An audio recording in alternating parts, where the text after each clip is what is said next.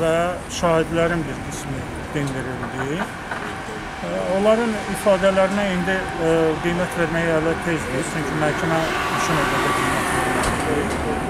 Lakin biz həqiqətin e, ortaya çıxması üçün, həqiqətin müəyyən olunması üçün vəkillər əllərindən gələni edilməlidirlər və hesab edirik ki, buna da müəyyən miqdarda nail olurlar. İndi gələcəkdə artıq ə, sübutların ə, tədqiqatına keçəndə və ya çıxışlarda artıq bunlar hamısı açıqlanacaq. Çünki indidən onları demək ə, biraz tez olar Ə, və ümid edirəm ki, məhkəmə də həmin bir gün o özünün şahid olduğu o araşdırmadan ədalətli qərar çıxardacaq. Onları istifadə edərək. Yaxşı, hələlik sağ olun. Sağ olun. Sağ olun. Belki de röportaj Salam bəy, xoş gördük. Nətərsiniz? Salam, xoş gördük. Sevgili Fuat bəy, Böyle kurtlaşma mesela. Təqsirləndirən şəxslər xahiş edirik bugünkü məhkəmə prosesi ilə bağlı məlumat verəsiniz.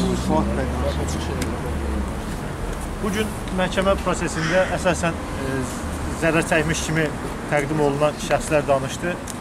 Bir qism onlar e, ifadə verdi və ifadələrlə bağlı istər e, müdafiəçilər, müdafiəçilərin vəkillərin istərsə də təqsirləndirilən şəxslərin verdiyi suallardan bəlli oldu ki, əslində e, ortada hər hansı e, xəsarətdən, ziyandan söhbət getmir.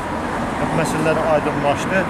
Hətta e, bir-birini təşsib edən ifadələr oldu və bəlli oldu ki, yəni formal olaraq, sadəcə olaraq istintaqın gedişində bunlar e, məsələlər e, formal olaraq yazılıbdır. Əslində ortada hər hansı bir xəsarət, ziyan məsələsi yoxdur. Daha sonra şahid ifadələri dinlənildi və şahid ifadələrdə demək olar ki, bütövlükdə hamısı, hamısı bilməli şəkildə hamısı verdiyi ifadədə bildirdilər ki, buradakı e, təqsirləndirilən şəxsləri tanımırlar və yaxud da tanıdığı şəxslər də həmin prosesdə iştirak etməyibdir və e, ittiham olunan şəxslər, təqsirləndirilən şəxslərin həmin proseslərdə hər hansı e, Milli Məclisdə baş verən məsələlərdə hər hansı formada iştirakı yoxdur və onlar hər hansı hadisənin törədilməsində nə təşkilatçı qismində, nə icraçı qismində iştirak etmirlər.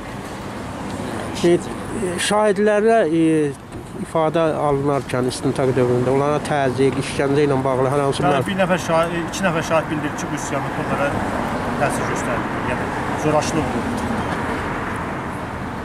Növbəti məhkəmə prosesinə Növbəti vaxtı məhkəmə ayın 30 31-nə saxlanıldı. Yəni 31-nə davam edəcək. Görünən odur ki, proses artıq yekunlaşmağa doğru gedir.